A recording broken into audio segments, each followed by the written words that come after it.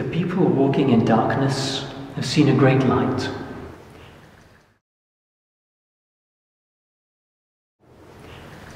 These words from the prophet Isaiah start with the image of darkness.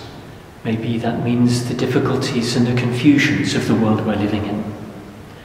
The image is of people walking in the dark, people who can't see where they're going. They're tripping over things, they're falling into danger, maybe they're afraid.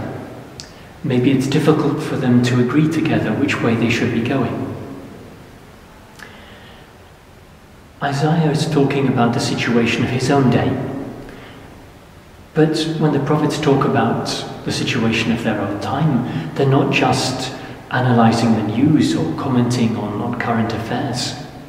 They're being led by the Holy Spirit to look deeper into things, to see how God's working in the events of their own day. And what they see is something much deeper. They see something that is of universal significance. What Isaiah sees is a light breaking into this darkness.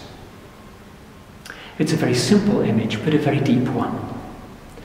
Light, when it comes, it brings clarity.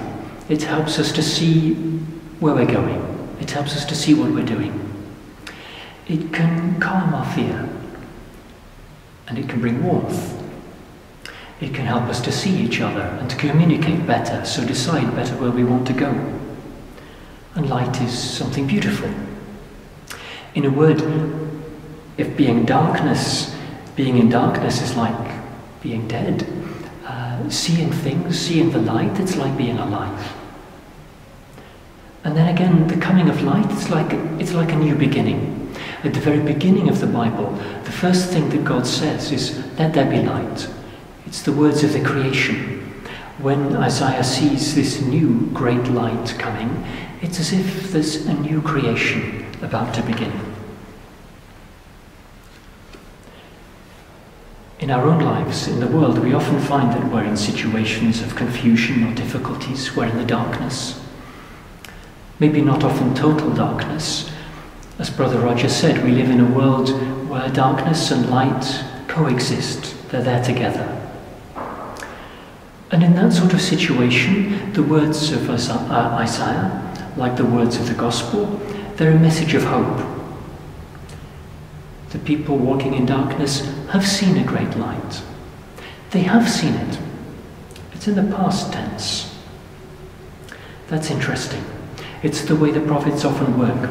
It's as if God has taken the prophet in his mind, in his heart, to a place in the future where God's plan has already been worked out, where God's purposes are already achieved, where everything's become clear.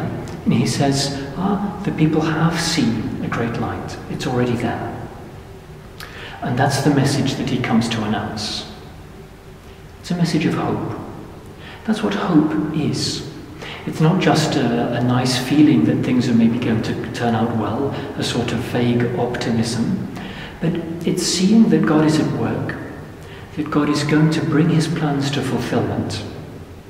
Seeing that light that's going to come. Maybe for us, seeing that it's already here in Christ, it's already on its way, it's already at work in the world. And if we're ready to accept that, it can mean letting that light in the future come and have an effect here where we are already. It's letting the joy and energy of the fulfillment of God's plan come and be at work in our own lives here and now.